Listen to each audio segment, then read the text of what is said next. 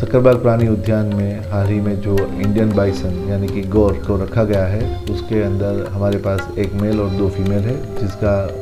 Successfully breeding होने के कारण एक नए बच्चे का जन्म हुआ है। बच्चे की हेल्थ अभी खूब अच्छी है और उसकी माँ और बच्चा दोनों मतलब खूब हेल्थी है और अच्छे से यहाँ पे